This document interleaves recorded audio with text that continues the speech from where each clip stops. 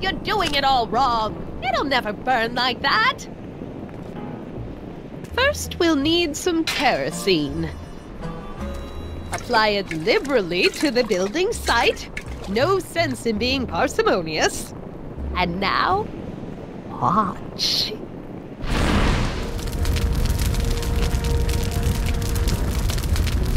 Isn't it beautiful? The devil's handiwork consumed by the fires of righteousness! burn, you sucker! Burn! She was never this passionate when we were dating. Oh. What is it, Edna? Is it the fire? Turn away! Don't look! It's not staying in the saloon, is it? It's spreading to the other buildings in Hill Valley. My intentions were pure. It wasn't supposed to happen like this. But it did happen like this, and you've been repressing it all these years because you can't stand to admit that you're... A hooligan! I'm a hooligan!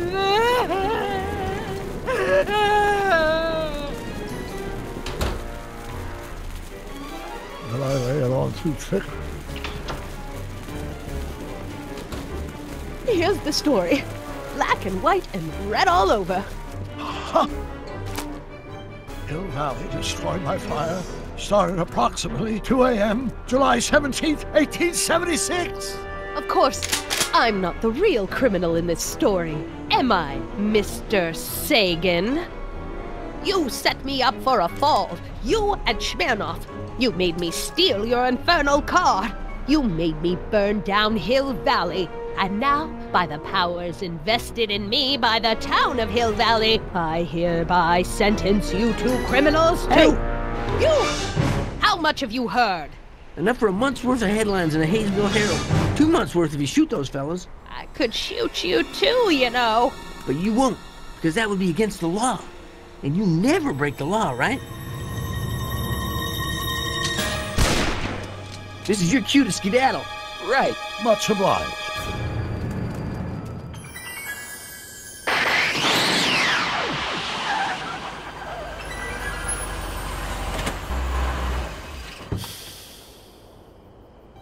There's Beauregard Tannen's half-finished saloon.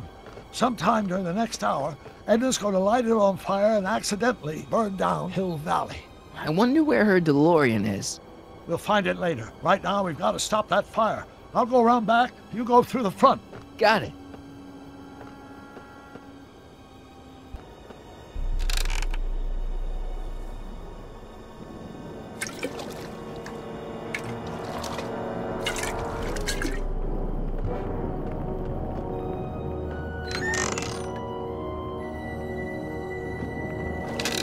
Who's there?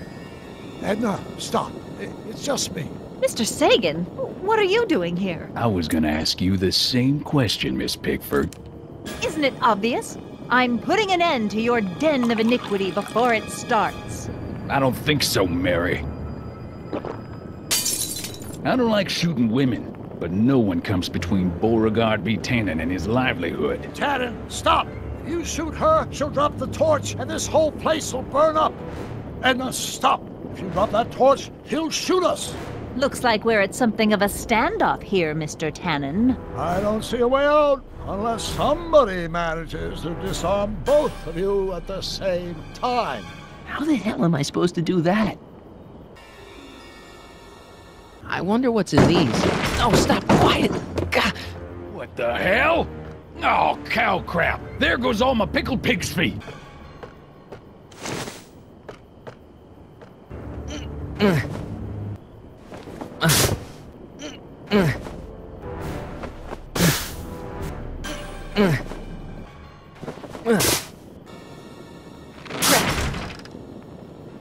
It's right over his head, but I can't knock him out while Edna's still holding that torch. Going down.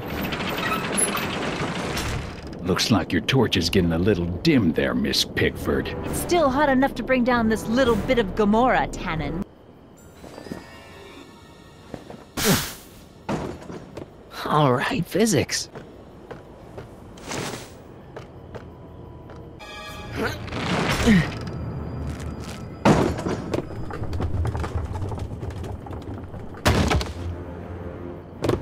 What was that noise?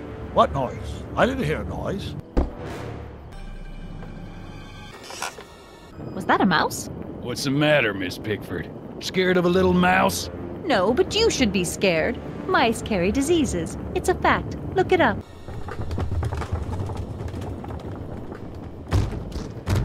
Okay, that was lucky. Won't be long now. We'll just see.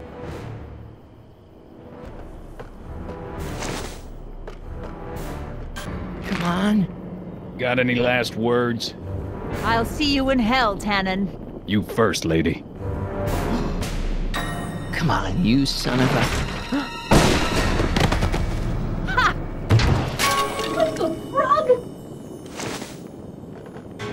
are you? I'm the diversion, butthead.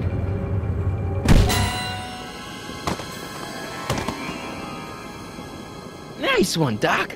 Don't tell Clara. She thinks fisticuffs set a bad example for the boys. Now, where's Edna? Doc, she's gone. Edna's DeLorean. We gotta stop her before she hits 88 miles per hour. Come on!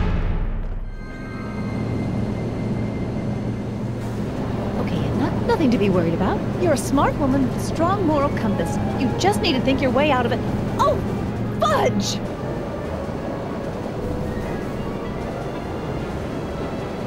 What's she doing?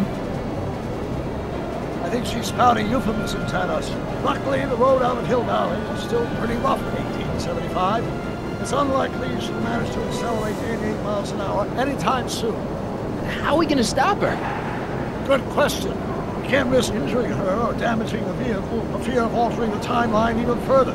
Luckily, those diagnostic lights my alternate self put all over the DeLorean have given me an idea. Here, take these. What are these? Flux synchronization modules. How do they work? I generally use them for maintenance purposes, but we might be able to use them to sync up with the alternate DeLorean's diagnostic modules, thus making it possible to link both sets of time circuits and override the time destination of the alternate DeLorean. At least that's the theory, anyway. That's a great plan, I think. Best of all, we won't need to weld the modules to the frame. We'll just snap them over the diagnostic lights. Wait a minute, Doc. You want me to go out there? How the heck am I supposed to do that? Good question. Let me think. Aha! Hoverboard! It saved our hides a few times before, so it seemed like the appropriate tool to bring along for the job. Sweet!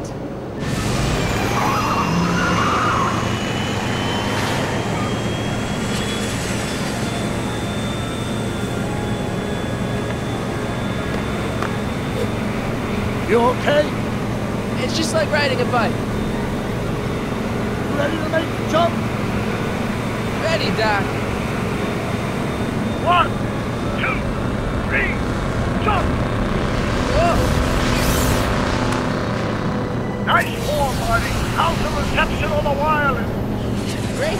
Where'd you get these? From Burns Cash of 21st century video game consoles. Now remember, all you've got to do is attach the flux sync modules to those diagnostic lights. Will do, Doc.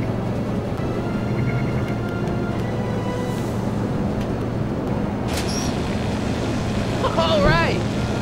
Nicely done. Now, aim the thing toward the receiving dish. I'll try, but it's getting a little bumpy out here.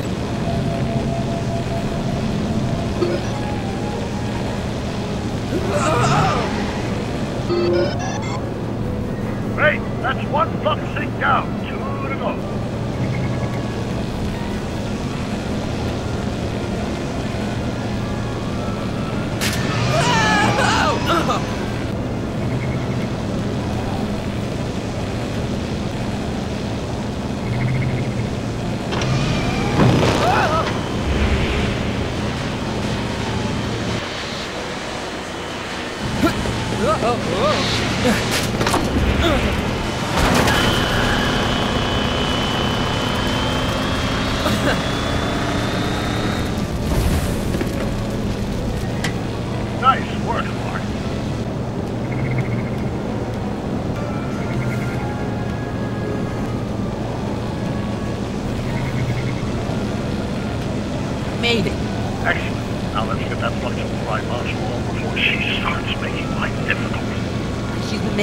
Easy up till now. Here goes nothing, Doc. Whoa! Perfect! Now, aim the flux sync towards the receiving dish on my DeLorean. Receiving dish, receiving dish. Uh, check.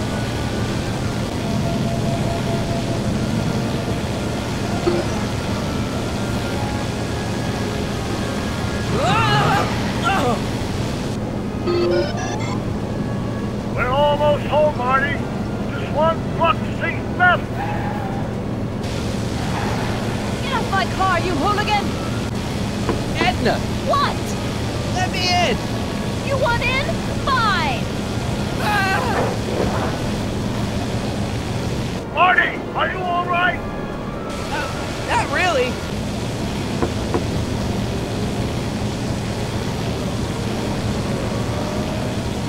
What? Pull over. No! Oh, wow. Excellent, Marty.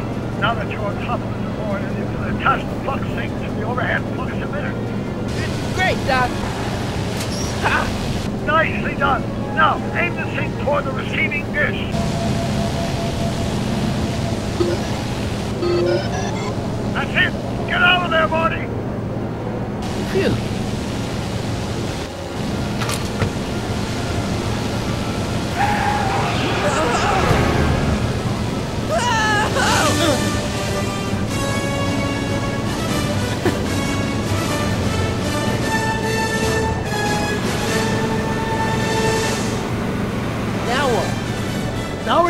Control of Edna's with the flux synchronizers, and that's strange. What? According to these readings, the temporal cohesion of Edna's DeLorean is decaying at an alarming rate. English, Doc. We've got to get Edna home. Now!